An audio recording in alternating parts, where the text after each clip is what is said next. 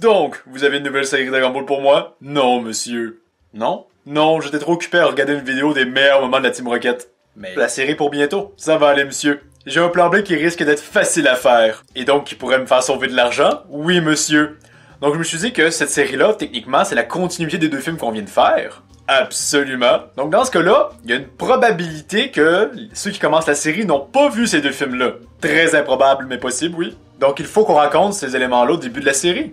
Ah, ouais, mais faire un recap au mieux, ça va durer deux épisodes. Non, on dit l'histoire dans son intégralité. Ah, ben, quand même, dans ce cas-là, on gagne au mieux cet épisode. Non, non, non, euh, de, mon plan, je pensais faire ça en 27, 28 épisodes. Convertir environ 3 heures de film en 27-28 épisodes, je suis pas convaincu. Combien de temps ont duré les 5 minutes sur Namek, monsieur? Ah oui, je vois vous voulez en venir. De toute façon, vous aussi, vous allez pas vous en faire. Il va y avoir des petits ajouts ici, là, du fan service comme seuls nous savons le faire. Notamment, on va avoir Gotenk et Trunk qui vont se battre contre un gros serpent. Ah, ouais. Pourquoi ils se battent contre le serpent? Oui, parce qu'ils sont à la recherche d'une eau qui a des propriétés euh, cosmétiques pour Videl.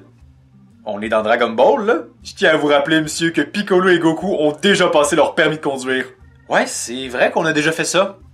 Continuez. Également, un autre ajout qu'on va avoir, euh, c'est euh, Vegeta qui va partir en petite sortie familiale avec sa famille. Vegeta va être grognon et tout, là. Hmm. Ben, considérant qu'on a déjà appris durant la saga Boo que Vegeta aime sa famille, euh, ça risque d'être un petit peu redondant, mais bon, j'imagine que ça va être drôle. Ouais, euh, sans doute.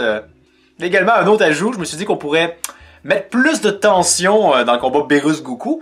Donc, à un certain moment donné, il y a tout l'enjeu que Ils sont tellement forts qu'ils vont peut-être potentiellement détruire l'univers comme dommages collatéraux de leur combat. Oui, mais au cours de la série, j'imagine que nos héros vont devenir plus forts. Bien sûr, monsieur. Après tout, on a inventé le principe de la course à la puissance. Donc à chaque combat, il faudrait pas que cet enjeu-là revienne toujours, et en fait, hein, c'est toujours de plus en plus facile pour eux de détruire l'univers sans le vouloir. Ah, ben non. Et pourquoi?